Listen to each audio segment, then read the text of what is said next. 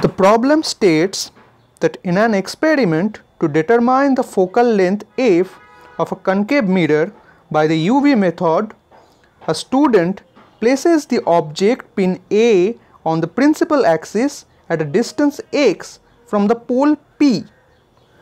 The student looks at the pin and its inverted image from a distance keeping his or her eye in the line with PA.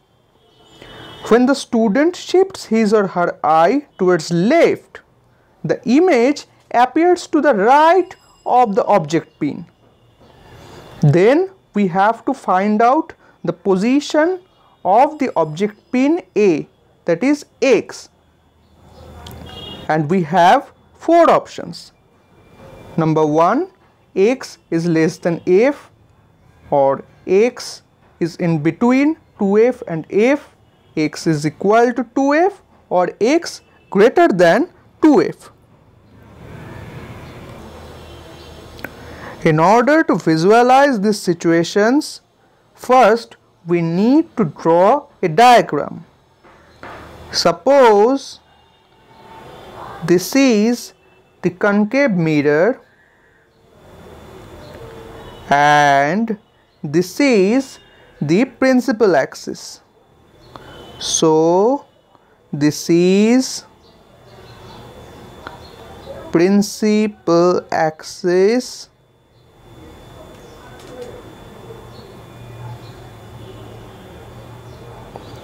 and this is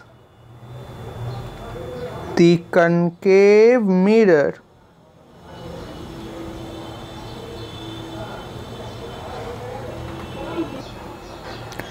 It is given in the question that when the student shifts his or her eye towards left, the image appears to the right of the object pin.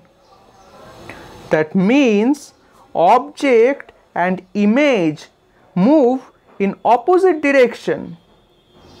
Therefore, the positioning should be like this. This is the position of object.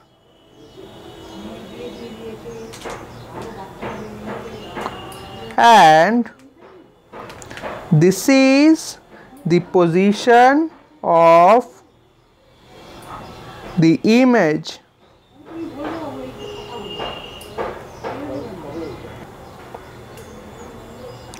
When eye is moved to the left then the image actually shifts towards the right. Hence the object actually lies between the focus and the center of curvature. But we already know that the radius of curvature that is R is equal to 2F. Since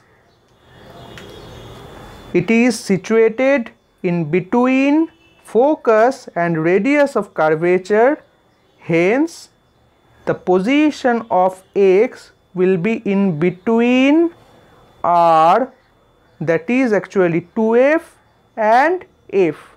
So option B will be the right answer.